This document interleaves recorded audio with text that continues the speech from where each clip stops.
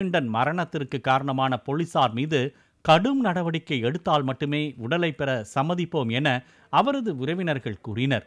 நீதிபதி முன்னிலையில் உடற்கூராய்வு செய்ய வேண்டும் என்றும் வலியுறுத்திய நிலையில் சென்னை பதினான்காவது குற்றவியல் நடுவர் மன்ற நீதிபதி கோபிநாத் கீழ்ப்பாக்கம் அரசு மருத்துவமனைக்கு வந்தார்.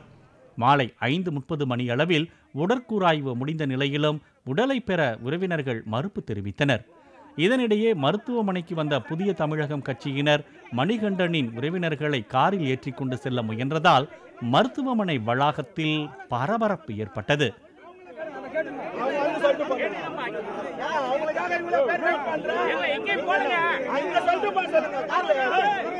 புதிய தமிழகம் கட்சியினரின் வாகனத்தை தடுத்து நிறுத்திய போலீசார் மணிகண்டனின் உறவினர்களை மீண்டும் மருத்துவமனைக்கு அழைத்து வந்தனர்.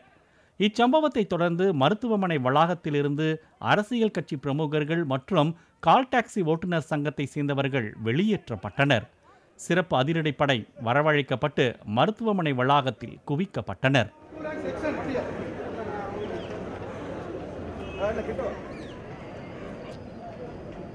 காவல்துறை கூடுதல் ஆணையர் சாரங்கன் உள்ளிட்ட அதிகாரிகள் மணிகண்டனின் பெற்றோர் மற்றும் உறவினர்களிடம் பேச்சுவார்த்தை நடத்தினர். குடும்பத்தில் ஒருவருக்கு அரசு வேலையும் ஐம்பது லட்சம் ரூபாய் இழப்பீட்டுத் தொகையும் வழங்க வேண்டும் என கோரிக்கை விடுத்ததோடு சம்பவம் தொடர்பாக பணியிடை நீக்கம் செய்யப்பட்டுள்ள உதவி ஆய்வாளர் தாமரை செல்வன் மற்றும் மூன்று காவலர்களையும் நிரந்தரமாக பணி நீக்கம் செய்ய வலியுறுத்தினர்.